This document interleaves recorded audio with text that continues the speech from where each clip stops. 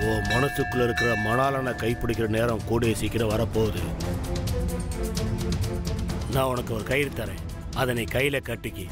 அது உன் கையில் இருக்கிற வரைக்கும் யாராலையும் உன் மனசுக்குள்ள இருக்கிற அத்தானை உங்ககிட்ட இருந்து பிரிக்கவே முடியாது. அந்த கயிறை எடு.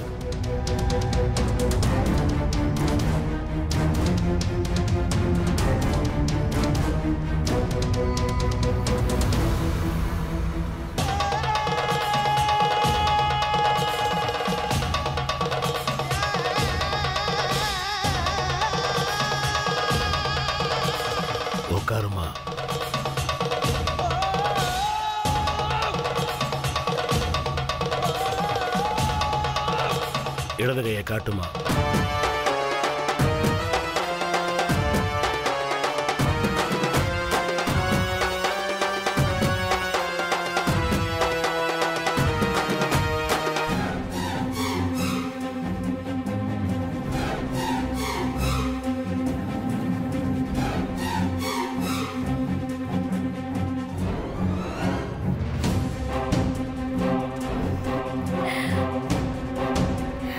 ரொம்ப நன்றி சாமி. மாமாம்மா வேண்டாம்மா. எங்க சாமிக்கு அதெல்லாம் பிடிக்காதுமா சாமி நீங்க சொன்ன மாதிரி கண்டிப்பா நடக்கும்ல?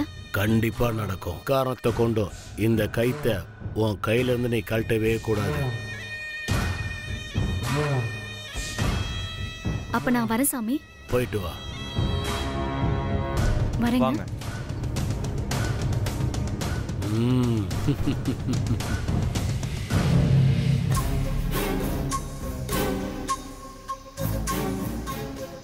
இனிமே உங்க பிரச்சனை எல்லாம் தீந்துரும். கவலைப்படாதீங்க.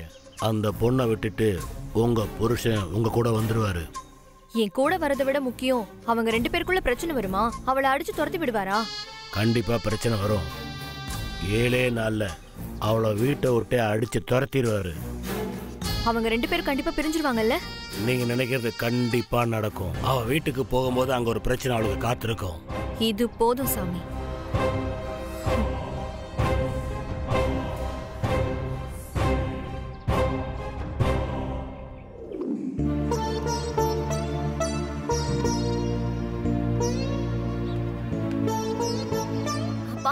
எப்பப்பா வந்தீங்க? நான் வந்து ரொம்ப நேரம் ஆச்சுமா. கோயிலுக்கு போயிருந்தேன்னு சொன்னாங்க. அதான் வரட்டுமேன்னு காத்திருந்தேன். சரிப்பா வாங்கப்பா உள்ள போலாம்.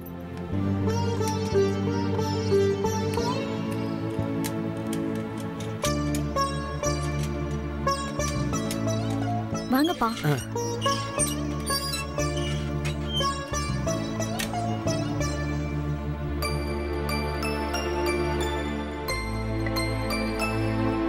உட்காருங்கப்பா. இருங்கப்பா தண்ணி எடுத்துட்டு வரேன்.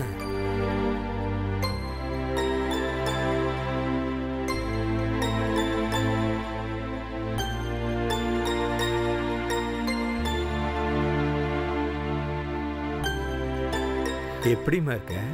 எனக்கு என்னப்பா சந்தோஷமா இருக்கேன். நீங்க எப்படி இருக்கீங்க? ஏதோ இருக்கம்மா. என்னப்பா இப்படி சொல்றீங்க? ஆமாம்மா. ஆயிரம் பிரச்சனை இருந்தப்ப கூட ஒன்றும் தெரியலம்மா. ஆனா இப்போ ஒரே ஒரு பிரச்சனை தான். அதாம்மா ரொம்ப கஷ்டமா இருக்குது. என்னப்பா? என்னாச்சு? சுத்தி இருந்த எல்லார் கடனையும் கொஞ்சம் கொஞ்சமா அடைச்சிட்டு தாம்மா வர்றேன். ஆனா அந்த மேல் வீட்டுக்காரன் சுந்தரம் கிட்ட ஒரு இருபத்தஞ்சாயிரம் ரூபாய் கடன் வாங்கியிருந்தேன். அதை கேட்டு அவன் ரொம்ப பிரச்சனை பண்றாம்மா அதாம்மா என்ன பண்றதுன்னு தெரியல. அப்பா நீங்க இந்த நிலைமையில இருந்துகிட்டு அன்னைக்கு என்ன கூட்டிட்டு போக வந்தீங்கல்ல எப்படிப்பா உங்களால என்ன பாத்துக்க முடியும்?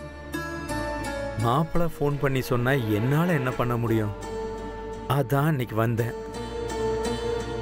அந்த மாதிரி சூழ்நிலையில மாப்பிள்ளை விஜய கூட்டிட்டு போயிருங்கன்னு சொல்லும்போது என்னால எப்படிம்மா மறுக்க முடியும்? சரிப்பா அதை விடுங்க. ஆனா இப்போ நீங்க இந்த நிலைமையில வந்திருக்கும் போது எனக்கும் என்ன பண்றதுனே தெரியலப்பா. எங்கேயும் நிலைமை ரொம்ப மோசமாதான்ப்பா இருக்கு. இப்பதான்ப்பா படாத பாடுபட்டு கொஞ்சம் கொஞ்சமா முன்னேறிட்டு வரும். எங்கேயும் கடன் பிரச்சனையில தான்ப்பா இருக்கும். புரியுதுமா. ஏதோ என் மனசுல உங்ககிட்ட கேட்கலான்னு தோணுச்சு. அதான் வந்தேன். அப்பா அத்தா இருக்கிற நிலைமையில யாருக்குமே உதவ முடியாதுப்பா. அவரு முன்னாடி இருந்த நிலைமை வேற. இப்ப இருக்கிற நிலைமை வேறப்பா. உங்களுக்கே தெரியும். அத்தா எப்படி வாழ்ந்தவர்னு அவங்க அந்த வீட்டை விட்டு துரத்தி விட்டதுக்கு அப்புறம் அவரு நடப்பணமா தான்ப்பா வாழ்ந்துகிட்டு இருக்காரு. இப்பதான்ப்பா அவர் அதெல்லாம் மறந்துட்டு வைராக்கியமா காசு சேர்த்து நல்லபடியா வாழணும்னு அப்புறம் காந்தியத்தை அழைச்சிட்டு வந்து அவர் கூடவே வச்சுக்கணும்னு ஆசைப்பட்டுக்கிட்டு இருக்காருப்பா. அதுதான்ப்பா இப்போ எனக்கு என்ன சொல்றதுனே தெரியல. புரியுதுமா? என் பிரச்சனையை நான் பார்த்துக்கிறேன் கடன் பிரச்சனை எனக்கு என்ன புதுசா? விடுமா என் பிரச்சனையை நான் பார்த்துக்கிறேன் மாமா? சும்மா உன்னை பார்த்துட்டு போலான்னு வந்தேன். என்னம்மா எப்போ வந்திய? இப்பதான் மாப்பிள்ள வந்தேன் நல்லா இருக்கீங்களா? நல்லா இருக்க மாப்பிள்ள ஏன்ம்மா ஏன் ஒரு மாதிரி இருக்கிய? ஏன் ஊரில் எதுவும் பிரச்சனையா?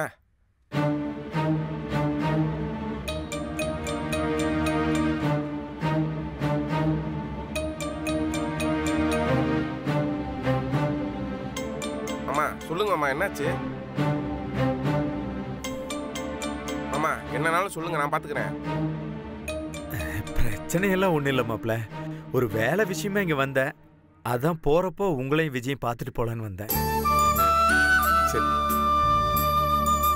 சரி மாப்பிள்ள உங்க ரெண்டு பேரையும் பார்த்துட்டேன் அப்ப நான் கிளம்புறேன். என்னம்மா அதுக்குள்ளே கிளம்புறேன்றிய ரெண்டு நாள் இருந்துட்டு போங்கம்மா இல்ல மாப்பிள்ள ஊர்ல கொஞ்சம் வேலை இருக்கு. மாமா அதெல்லாம் இருக்கட்டும். இன்னைக்கு ஒரு நாளாச்சும் இருந்துட்டு போங்க. இல்ல மாப்பிள்ள இப்ப போனாதான் காலையில ஊருக்கு போய் சேர முடியும். என்னம்மா வந்தது வராம சாப்பிட கூட இல்ல. உடனே கிளம்புறேன் கிளம்புறேன்றிய இருங்க சாப்பிட்டு போலாம். பரவாயில்ல மாப்பிள்ள சாப்பாடெல்லாம் வேண்டாம். இப்ப போனாதான் வண்டி பிடிக்க முடியும். பார்த்து வாமா சரி மாப்பிள்ள நான் கிளம்புறேன். விஜய் பத்திரமா அஹ், வர்றேம்மா. சரிப்பா பார்த்து போயிட்டு வாங்க. உங்க உடம்ப பத்திரமா பார்த்துக்கோங்க வர்றேம்மா. ம். வர்றேன் மாப்பிள்ள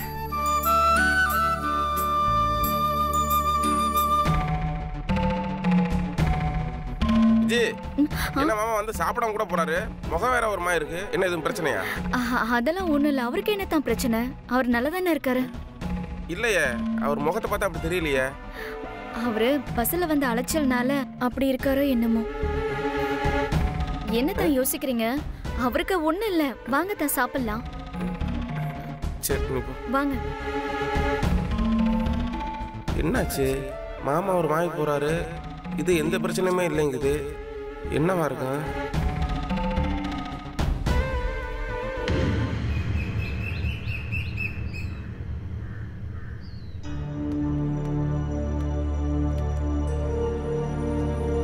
அக்கா வா விஜி.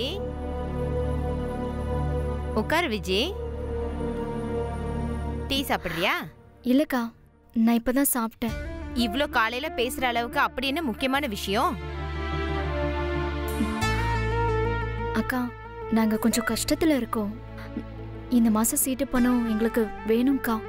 சீட்டு போட்டவங்க எல்லாரும் இதையே கேட்டா நான் யாருக்கு தான் கொடுக்கறது? இல்லக்கா கொஞ்சம் அர்ஜென்ட்டா தேவைப்படுதுக்கா. யாருக்கு தான் பணம் தேவைப்படாது சொல்லு. அக்கா ரொம்ப அர்ஜென்ட்டுக்கா கொஞ்சம் பாருங்கக்கா. நேத்து தான் நகை வாங்கணும்னு சண்முகம் வந்து பணம் கேட்டுட்டு போனா. அக்கா இப்போ நான் ரொம்ப கஷ்டத்துல இருக்கேன்க்கா கொஞ்சம் கடன் பிரச்சனைக்கா. அதை வேற திரும்ப கேட்டு டார்ச்சர் பண்றாங்க. அதனால எனக்கு என்ன பண்றதுனே தெரியல. கொஞ்சம் பார்த்து பண்ணுங்கக்கா எனக்கு என்ன சொல்றதுன்னே தெரியல விஜி. அக்கா நீங்க மனசு வச்சா கண்டிப்பா பண்ணலாம்க்கா சண்முகத்துக்கு பணம் தரேன்னு சொல்லிட்டேன். நாளை பின்ன வந்து அவன் பணம் கேட்டா நான் என்னத்த சொல்றது? அக்கா அவர்கிட்ட இந்த மாசம் சீட்டு விஜய்க்கு கொடுக்குறேன்னு சொல்லுங்கக்கா அது எப்படி விஜி முடியும்? சண்முகம் பல வருஷமா என்கிட்ட சீட்டு போட்டுட்டு இருக்கான். நீ இப்பதான் என்கிட்ட சீட்டு போட்டிருக்க. அவனுக்கு கொடுக்காம நான் எப்படி உனக்கு கொடுக்க முடியும்? சொல்லு விஜி.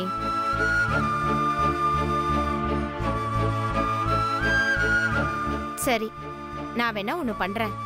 சண்முகம் வந்து கேட்டா நீ வந்து கேட்டதா நான் சொல்றேன். நீ வேணா அவன்கிட்ட பேசி பாரு. அவன் ஒத்துக்கிட்டானா நீயே எடுத்துக்கோ. சரிக்கா. நான் வரேன்க்கா.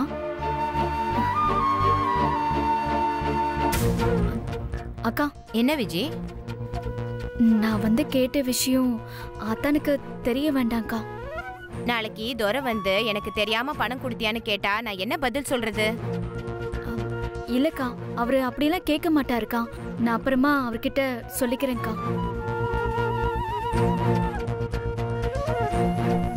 இப்போதைக்கு சொல்ல வேண்டாம்க்கா. சரி நீ ஏதோ சொல்ற. பாக்குறேன். சரிக்கா நான் வரேன்.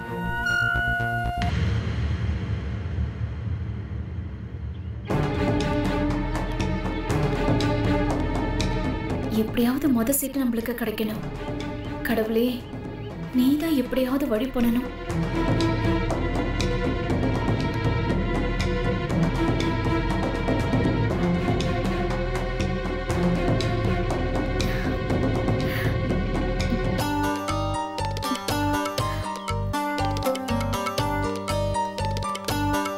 விஜய் எங்க போன? பக்கத்துல தான் அத்தான் பக்கத்துலனா எங்க? தெரிஞ்சவங்க வீட்டுக்கு போனேன். தெரிஞ்சவங்களா? எனக்கு தெரியாத யாரு? இல்ல உங்களுக்கு தெரியாது ஏ எனக்கு தெரியாத யாரு? உனக்கு தெரிஞ்சவங்க? என்னத்தான் எனக்கு யாரும் தெரிஞ்சிருக்க கூடாதா என்ன? இல்ல அப்படி யார் வீட்டுக்கு நான் போக கூடாதா என்ன? மேடம் விஜய் இப்ப நான் என்ன சொல்லிட்டேன்னு எதுக்கு இப்படி கத்துற? அப்புறம் கத்தாம என்ன பண்ணுவாங்க? வாசல்ல நிக்க வச்சு குற்றவாளி கேள்வி கேட்கிற மாதிரி கேட்டுக்கிட்டு இருக்கீங்க?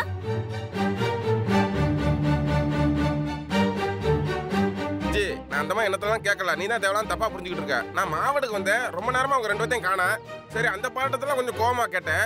மத்தபடி நீ நினைக்கிற மாதிரி நான் ஒன்றும் பேசல. ம், உங்களுக்குள்ள என்னாச்சு? இப்படி வாசல்ல வந்து நின்று கத்திட்டு இருக்கீங்க? அது அவர்கிட்டயே கேளுங்க. வந்ததுல இருந்து எங்க போன எதுக்கு போனேன்னு போலீஸ் மாதிரி கேள்வி கேட்டுக்கிட்டு இருக்காரு. என்ன தோற இதெல்லாம்? பாட்டு நான் ஒன்றும் பண்ணல பாட்டு. கடைக்கு மாவு போட போனேன். மாவெல்லாம் தீர்ந்து போச்சு. சரி இருக்க மாவு எடுத்து போலாம் வந்தா அங்க யாருமே இல்ல. சரி எங்க போனேன் கேட்டா இது பாட்டு கோவப்பட்டு பேசிக்கிட்டு இருக்கு.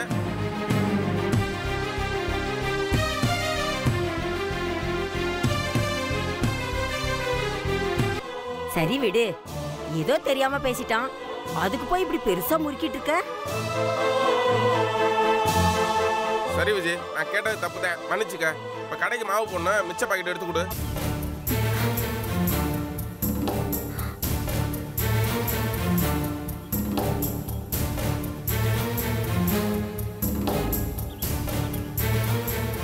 ஏ விஜி மாவு கேக்குறான்ல எடுத்து கொடு.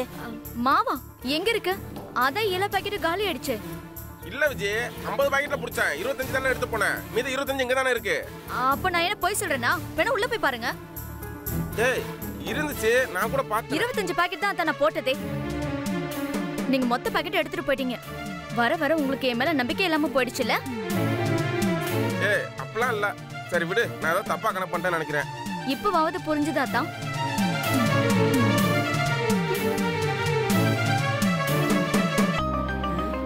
என்னடா? நான் கூட பார்த்தேன். ஐம்பது பாக்கெட் இருந்துச்சே. நீ எடுத்துட்டு போனது போக மிச்சம் இருபத்தஞ்சு இருந்துச்சு. ஏன் பாட்டி? எனக்கு தான் கணக்கு வராதுன்னா உனக்கும் வராதா? நீயும் மாத்தி தான் நின்னுயா இல்லடா. பாட்டி உனக்கு வயசாயிருச்சு கண்ணு மங்களா தான் தெரியும். நீ கொஞ்சம் அமைதியா இரு நான் பாத்துக்கிறேன். நீ வேற எதையும் கிளப்பி விடாத பாட்டி விஜய் சொன்னா கரெக்டா தான் இருக்கேன் நம்ம தான் ஏதோ தப்பா எண்ணிருப்போம் சரி நான் போய் கலெக்ஷன் பாட்டு வந்துடுறேன். என்னாச்சு இந்த விஜய் பொண்ணுக்கு? பட்டு பட்டுன்னு கோவப்படுறா? ஏட்டிக்கு பூட்டியாவே பேசுறாளே. ஏதோ தப்பா படுது. என்னன்னு தெரியல.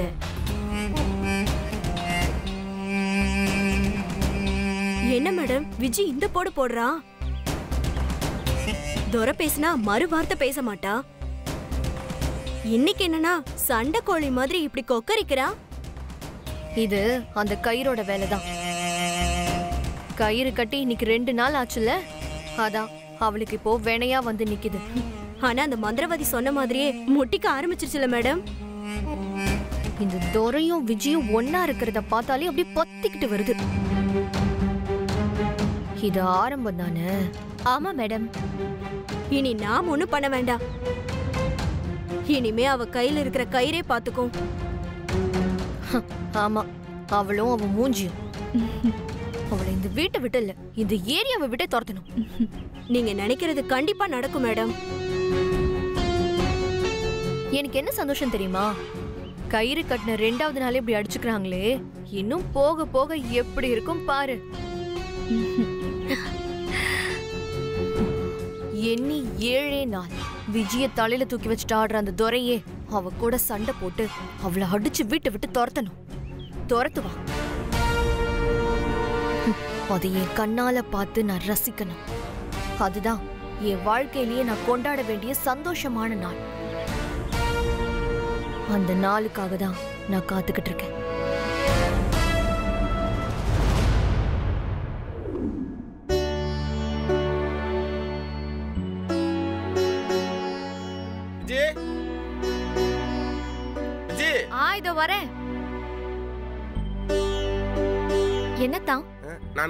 மாவு கடைக்கு லைசன்ஸ் விஷயமா போய் ஆபீசரை பாட்டு வந்துடுறேன். அப்படியே பணத்தை கட்டிட்டு வந்துடுறேன். போய் பணம் எடுத்துட்டு வா.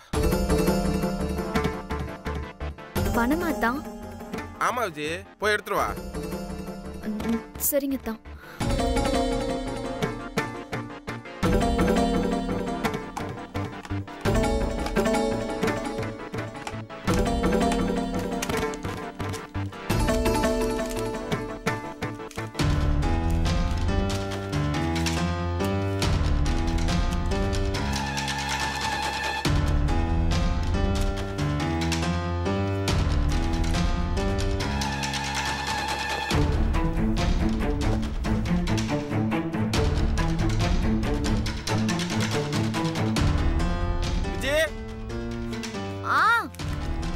பண்ணிக்கிட்டு இருக்க இதோ வந்துட்டே தான் சீக்கிரம் வா.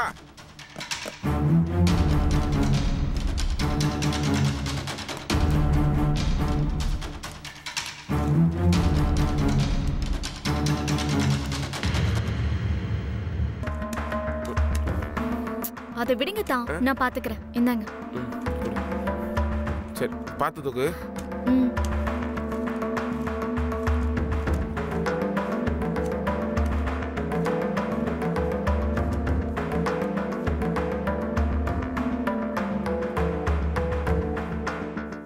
ஏய் பணத்தை பார்த்தது வாயை பொழந்து எண்ணிட்டு இருக்க அந்த பொண்ணு தனியா கஷ்டப்படுதுல்ல ஒரு கை பிடிச்சாதான் என்ன?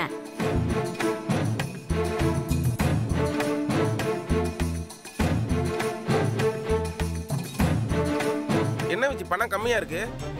என்னத்தான் கம்மியா இருக்கு? அதெல்லாம் கரெக்டா தான் இருக்கு. ஏ ரெண்டு நாளைக்கு முன்னாடி எண்ணி பார்த்தேன் பதினஞ்சாயிரம் இருந்துச்சு. இப்போ பன்னெண்டாயிரம் தான் இருக்கு.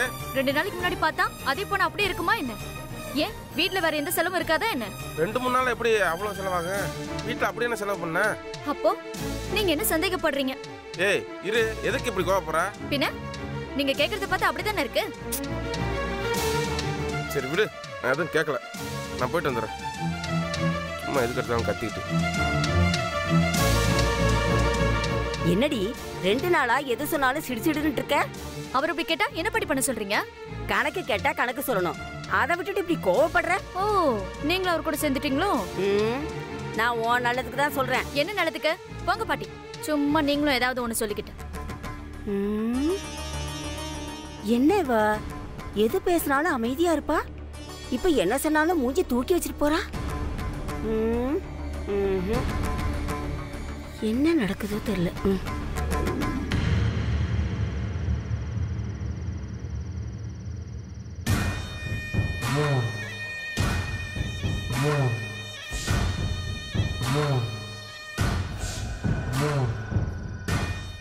ம். ஒரு எஃபெக்டும் இல்லையே ஒரு சத்தமும் இல்லாம அமைதியா இருக்கு என்ன பண்றது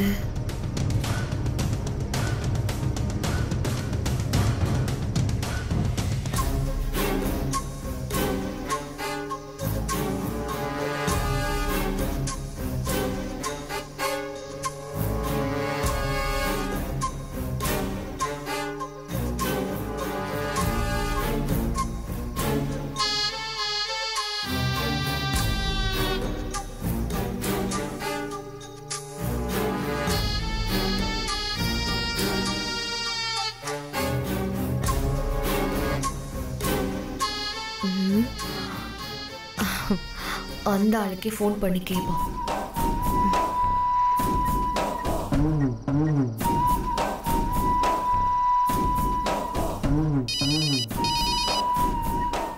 வணக்கம். என்ன உதவி வேணும்? வணக்கம்லாம் இருக்கட்டும். கயிறு கட்டி அவங்கக்குள்ள பெருசா ஏதோ பிரச்சனை வந்த மாதிரி தெரியலையே. யாரு? மகாவா?